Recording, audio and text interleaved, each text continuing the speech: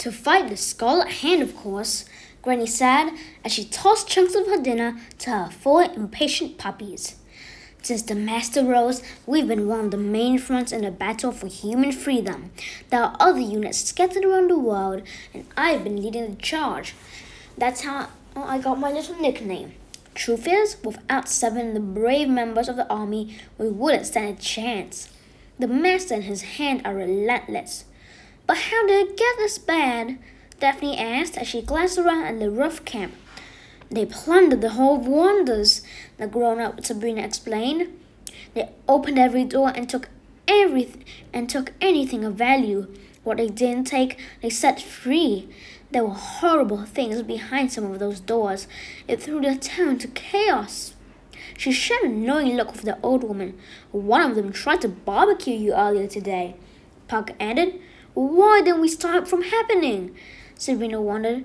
What are we supposed to do, Sabrina? Granny Relda said before breaking into a coughing fit.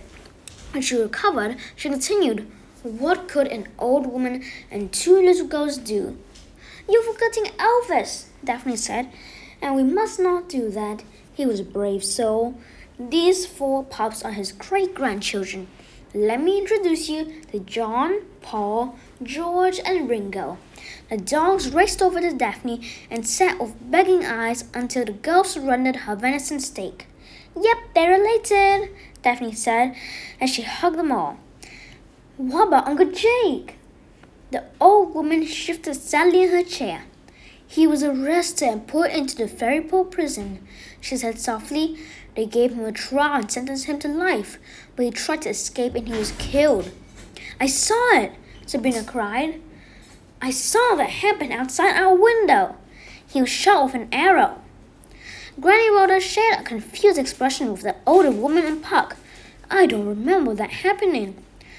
I certainly don't remember it, the grown up Sabrina replied.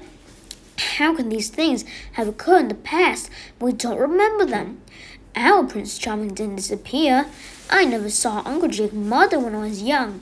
We didn't just pop up in the future either. How long have you been here? Charming asked the girls. A couple of hours, Sabrina said. What about you? Three months. So you know a future version of Prince Charming? Sabrina asked, doing her best to understand all the new information. No, I'm from the past. I mean, the present. It's all still very confusing. I went to for a walk after I lost the election to the Queen of Hearts. I wanted to clear my head, think of a way to change my fortunes, and then I found myself here. It took me several hours to figure out that I wasn't where I was supposed to be. It appears the same thing has happened to the two of you. The older Daphne shook her head. Something is happening back then that should have happened, she said. We believe it's creating tears in time. Tears in time? Daphne asked. Yes, they are doorways that suck people out of their time. They're not supposed to be possible, but whatever or whoever is causing them is somehow blending their future and our present. And maybe all of our past, Sabrina interrupted. We saw a band of Indians attack Baba Yaga this afternoon. I mean, 15 years ago. Now, I know that never happened, the older Daphne said. So this is worse than I suspected, Granny Relda replied. When the two of you vanished, did you see a storm come out of nowhere? Charming asked. Sabrina nodded. And there was one where I saw Uncle Jake die. And when the Indians appeared and attacked Baba Yaga, Daphne ended. By the way, where is she? The witch was made one of the first of the resistance to die, Granny Relda said. She made a foolish error when she destroyed her guardians. She never took time to replace them and left her vulnerable. The Scarlet Hand cornered her in the forest and killed her, but not before she took out nearly forty of them. The house ran off, Puck said. We found it cowering at the top of Mount Taurus, and we've been using it ever since. Maybe all this has something to do with the case we're working on, Sabrina said We're watching the older version of her sister standing cold and distant away from the group. She shuddered to think what had happened to steal the happiness from Daphne, or what had caused a horrible mark on her face. What case? Granny Relda asked. Someone's been stealing magic items. The wand of Merlin, the wonder clock, and some water from the fountain of youth have all been ripped off. I remember that case, Granny Relda said. We never solved it. Unbelievable! Relda Grimm would never let a mystery go unsolved. Charming said with a hint of disdain. There were other things, urgent things that needed our attention, the old man said. The taxes, Sabrina asked. Her oldest self nodded in agreement. Yes, among others. Uncle Jake had his hands full of Baba Yaga. After that, things got even worse, and we just and we just never had time to do any more investigating. What got worse? Sabrina asked suspiciously. The adults were silent for a long, heartbreaking moment.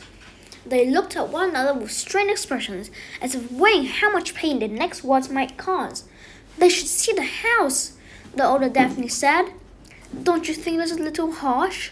Granny Relda asked. If we don't show them the truth, they'll go and discover it for themselves. You remember how we used to be? We were always running off in the middle of the night. We can't allow them to do that. They wouldn't survive. It's best that we feed their curiosity, no matter how painful it might be. It may be. She's right, Relda, Charming said. They'll sneak out, and this time they might not come back. If they were to be killed, we would die with them. They're us, grown up Daphne added.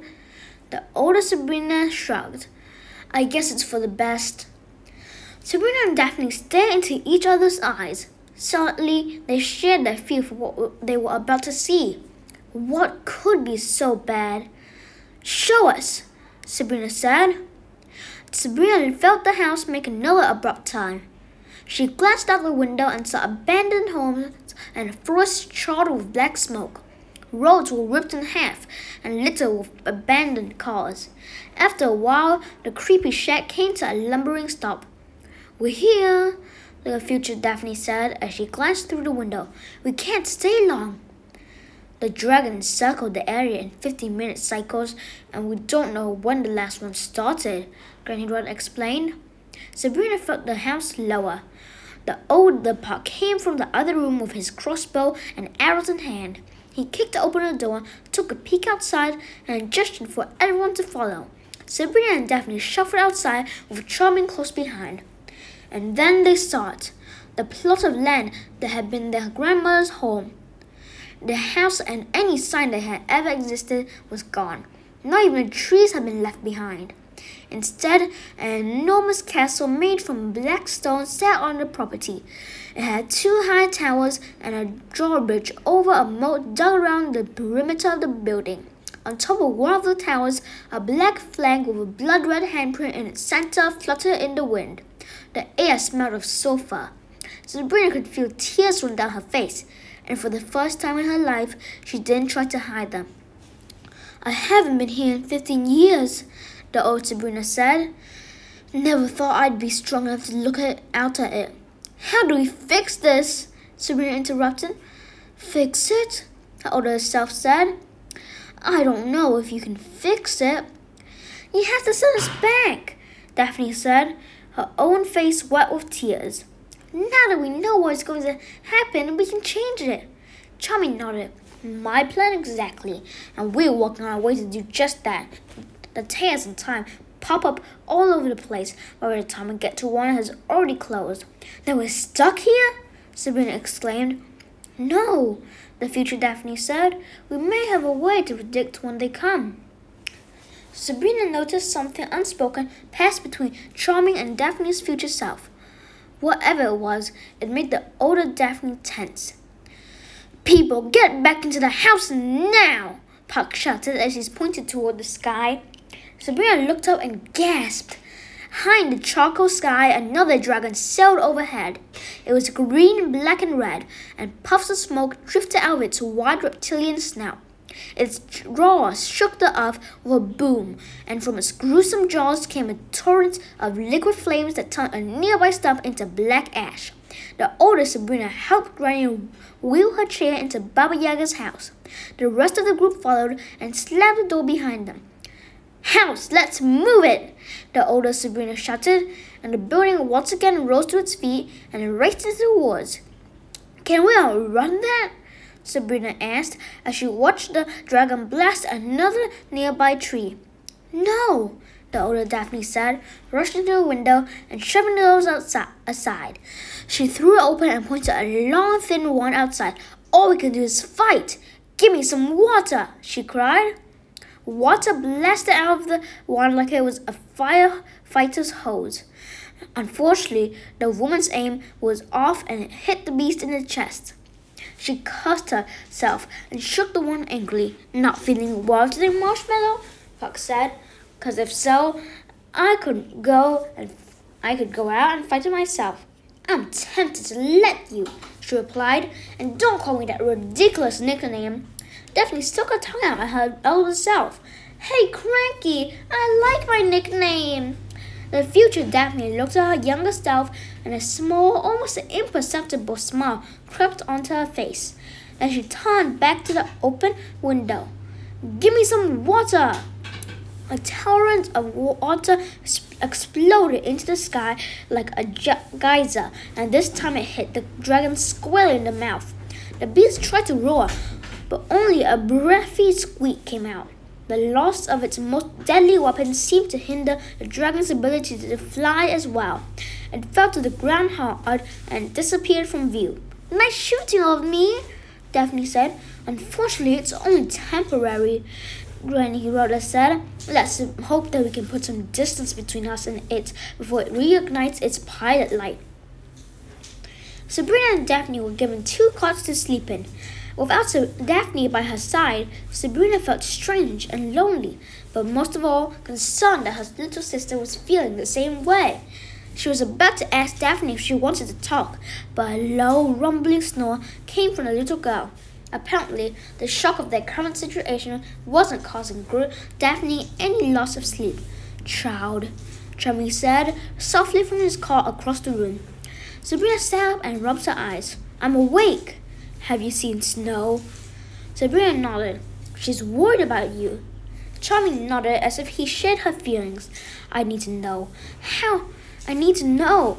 How did Daphne get hurt? I mean, the older Daphne. How did she get that scar? It was my fault. I asked her to help me find something. It was dangerous and we ran into trouble. Charming said. What kind of trouble? Nottingham. Sabrina shuddered, imagining the wicked sheriff's serpentine dagger. She was helping me recover something, Charming said. Something that will help us go home. But Nottingham was guarding it, and he, well. Just then, the older Daphne entered the tent. It appears our little mission has paid off, she said, to charming. I may have found another ten time. Can you tell us when and where we'll be? Sabrina asked eagerly. The Fairy Lanny Cemetery. We need to leave now. The adults led the children through the cemetery. There were headstones as far as the eye could see, and a crumbling mausoleum leaning precariously across the path. The weeds had grown over most of the burial plots. None of the cemetery's lamps were working, so the group had to rely on the bluish light of the full moon. It gave everything and everyone a ghostly quality. I cannot guarantee that here will make will take you back home. Older Daphne said. In fact, it could put you into an even more dangerous situation. What could be more dangerous than running from dragons all day long? Sabrina said. Appearing in the past during the witch trials for one, Imagine popping up in a Puritan camp and being burned at the stake. Or you could be sent further into the future where my sister and I are dead and there's no one to protect you from the Scarlet Hand. That's be the end of this video. I'll see you later. Goodbye.